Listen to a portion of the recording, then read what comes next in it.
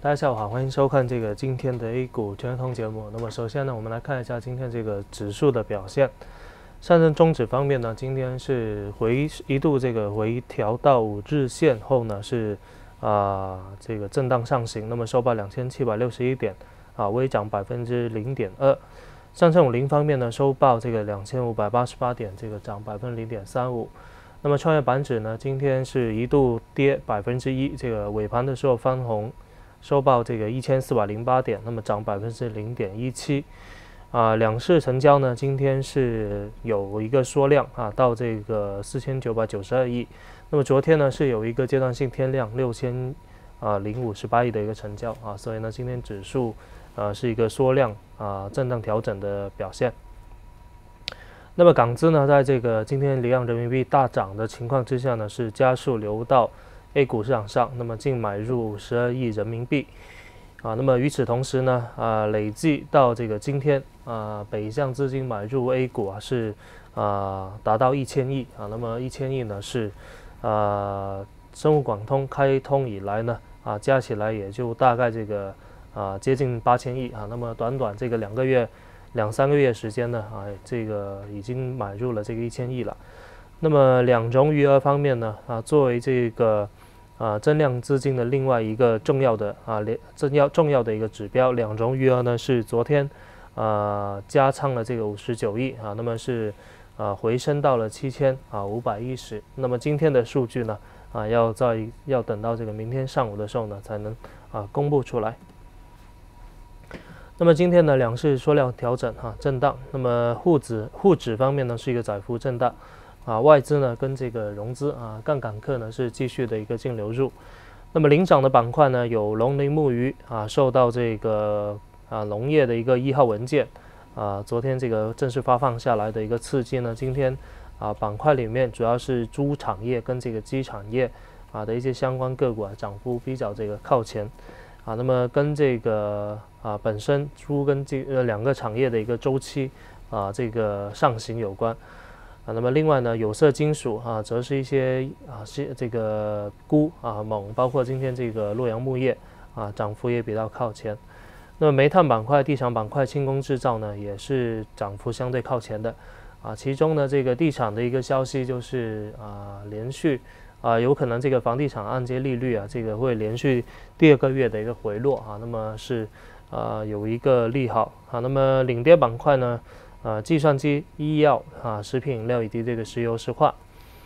那么目前来看，短线的一个风险偏好啊，啊，仍然是相对较强的啊。那么啊，大的背景呢，宽信用啊，以及这个中美贸易啊，今天跟明天会有一个谈判啊。那么呃，市场呢也普遍预期比较这个顺利啊，期待呢这个会议里面呢能出一些啊超预期的一个结果哈，在这个经贸方面啊，那么。呃，风险呢啊，仍然是这个经济下行趋势未改，以及这个获利盘啊开始这个兑现，啊出现了部分强势个股的一个回调。好，那么今天的话题啊是想说一下这个成交呢，昨天是见到这个六千啊零四十八亿人民币，啊，那么这个位置啊基本上呢是回到了一八年啊初那一段连续十几个。十几天涨停的那个那个日子哈，那么那那段时间之后呢，股市就一路下行，啊，跌了这个一整一整年，啊，那么今天呢，这个成交又缩小了到这个五千亿啊左右，啊，那么这个是不是阶段又要这个见顶了呢？啊，那么首先来看一下左边这个图啊，呃，红色这个柱子这个图呢，啊，拉取的是一八年初到现在的一个成两市成交的一个水平。啊，那么很明显呢，这几天这个量能是放的比较大哈，基本上去到六千四百左右的亿人民币的一个成交。那么这样的一个成交呢，啊，再上一次什么时候啊？基本上就是一八年啊开始的时候。那么短暂一八年涨了一个月之后啊，从这个春节后呢，啊，在这个当时宏观环境啊转弱，特别是这个中美关系啊这个这个这个陷入一个比较紧张的情况之下呢，这个整体。啊，指数是快速下行。那么当时啊，啊阶段性的在跌的时候呢，也是有创过一个新高啊，基去到这个六千四百亿左右啊。那么现在这段时间啊，对比上次那个时间呢，基本上这个成交啊已经啊非常的一个接近了啊。那么不过呢，这里留意一下，现在这个指数的位置啊，是一个相对啊底部的一个位置。那当时啊是非常高的一个位置，三千啊三百亿左右的。那么现在呢，呃还是有一个上升的一个动能啊，至少趋势在。那么与最近的一次所谓的一个成交比较高的位置呢，是在这个去年十一月啊的一个时候，当时呢指数是有一轮这个反弹的啊。那么当时的一个反弹呢，成交呢啊也不是特别多哈，基本上在四千二百亿左右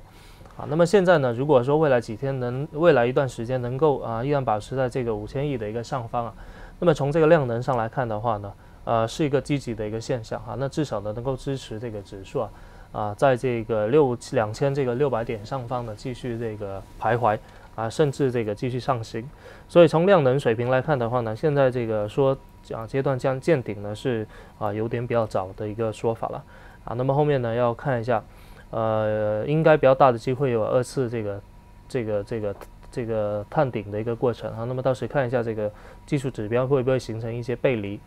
啊，那么这个成交的背后啊啊，我觉得呢，主要是有两股这个力量啊。那么如果从 A 股市场上场内的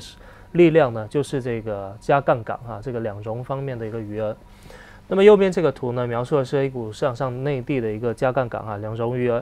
那么自这个去年九月份啊一路下行到这个今年年初的时候见底呢，啊最近一段时间呢，新闻报道也在说这个场外的一些配资又在。啊，兴起，甚至呢十倍的一个配资啊，越来越多了啊。那包括呢外资也有两到四倍的一个配置进到这个市场上来。那么看到呢近日啊这个两中余额是连日的一个攀升啊，从最右右面这个位置上啊来看连日的一个攀升，那么形成了一个很重要的啊这个流动性支持。那么后面呢啊进一步看一下，在这个政策稍微放宽之后呢，这个两融余额。啊，能不能继续的一个上行？好，那么接下来每一天呢会公布这样的一个数据。啊，那么实际上现在七千多的一个亿的一个两融余额是相对来说比较低的一个位置了。那么一五年、一四年那时候的牛市的两融余额呢，基本上是处于一个两万亿以上的啊规模。那么现在呢，在底部啊开始放量的话，我觉得这资资金面来看呢，是一个非常积极的一个现象。那么另外一个呢，啊，外资啊也是作为这个成交流动性的一个重要的力量。那么可以看到呢，左边这个图是北向资金持续的一个加仓，从今年年初到现在，啊，加总已经是超过这个一千亿了。那么近最近一段时间，包括最近的一最新的一个数字啊，没有在这个图里面，实际上是去到五十亿，也就是说呢，基本上都是一个持续买入的一个信号。好，那这背后呢是离岸人民币啊升势非常的一个强劲，去到这个六点七二。啊，那么外资呢进一步买入以人民币这个计价的啊 A 股市场上的一些标的。那么右面这个图呢，啊也是人民币对美元呢不断上涨的一个表现。啊，那么最近有一个消息呢是来自这个彭博啊新新闻社啊透露的，就是在这个中美谈判期间呢，美国呃会这个要求啊啊中方呢在这个人民币方面呢啊继续保持一个强势的态度。啊，那么在这样的一个消息刺激之下呢，今天这个离岸人民币啊继续的一个大涨。好，那么上面是对大盘以及宏观的一些看法啊，那么下面来说一下一些焦点板块，比如说今天这个航空股啊，在啊下午的时候呢是表现比较强势，尾盘的时候呢，这个中国国航是升了这个百分之四点四，目前这个技术走势啊非常好啊，那么有望这个进一步向上这个呃这个这个这个上行。那背后基本面呢？啊，主要是现在这个市场预计啊，一九年这个整体汇兑损失的一个影响会进一步缩窄啊。那么去年这个呃负面影响航空股的一个利润啊，其中占最大头的就是这个呃人民币的对这个美元大幅的一个贬值五个百分点啊，令到呢一方面财务费用的一个上升，另外呢负债的一个敞口啊在扩大。还有呢，就是在一些租赁啊、维修方面的费用也在提高，那么是拖累了航空股的一个业绩表现。那么今年呢，像刚才前面也分析了哈，在一个呃全球这个放水的一个背景之下呢，这个美元走弱，人民币上升啊，同样也符合中美谈判啊这个朝顺利方向发展的一个基本要求之下呢，今年这个人民币啊应该会有明显升值。那么大摩呢也预计。人民币今年的一个位置可能会升到这个六点五五对这个美元，啊，所以这个层面来看的话呢，今年这个汇兑损失啊啊影响会缩窄。那么另外呢，就另外一个成本，航油这个价格来看，航协方面，国际航协预计啊，今年这个航油价格呢会啊较这个去年同期平均略降，啊，那么也形成一定的一利好提振，啊，但是呢，这个油价实际上呃对于航空股的影响是比较这个次要的啊，主要还是要看航空股在这个，主要还是要看人民币汇率走势以及航空股本身营运的一个表现。那么就营运情况呢，过去一到两年呢，这个南航跟东航的一个客座率表现非常的一个理想啊。那么这个运力投放跟这个运量需求的关系啊不断好转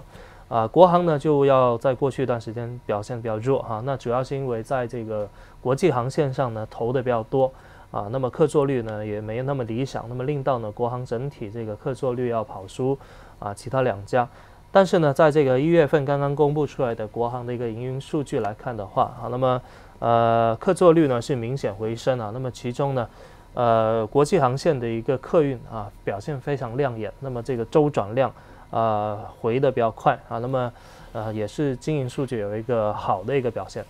那么最后呢，就是这个板块估值水平呢，目前来说从 PB 的角度啊，过去五年来呢是一个中位数下行零点五个。啊，标准差的位置啊，那么可以说呢是比较低的一个情况。那么在后面外资流入以及市场编号啊提高，加上这个杠杆客进来之后呢，相信航航空股呢至少会有一个啊估值修复以及这个追涨的一个动力啊。那么尤其是在最近的几天的一个时间里面啊，可能会有不错的表现。那么最后呢，再说一个军工板块哈，今天异动啊。那么主要是市场在憧憬。啊，三月份两会的时候呢，会披露这个今年的一个军费预算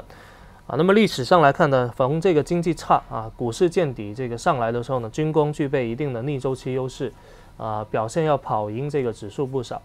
啊。那么实际上军工的一个军费投入增速啊，从一七年呢就开始见底回升啊，到现在，那么有望呢这个在今年啊板块获得相对的收益。啊那么今天呢，不少个股也是涨停了，中船防务哈，A H 股呢今天表现的不错，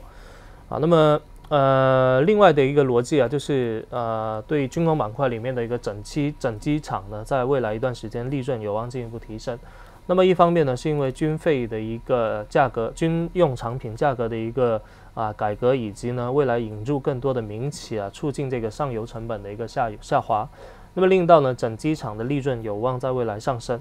然后板块整体呢，由一开始啊十年前的资产注入啊，到这个过去几年啊军民融合的一个题材炒作，那么到现在呢，一些白马企业呢开始有一个利润出来啊，那么进入到了一个啊价值投资的一个阶段，那么建议呢这个板块可以在今年啊特别重视的留意一下。那么里面的一些龙头白马呢，比如说呃参与这个商用飞机 C 九一啊 C 九一九这个。啊，零部件供给的中航飞机啊，这个估值相对比较低，以及国内呢这个啊军工这个军事啊民用的一个直升机啊，唯一的标的中指股份也可以研究一下啊，以及这个中航沈飞啊，国内这个战斗机的一个啊个股啊，以及航发动力也是参与这个商务飞机的一个啊发动机的一些提供啊，那么等等这些呢，我觉得都可以在今年呢重点留意一下。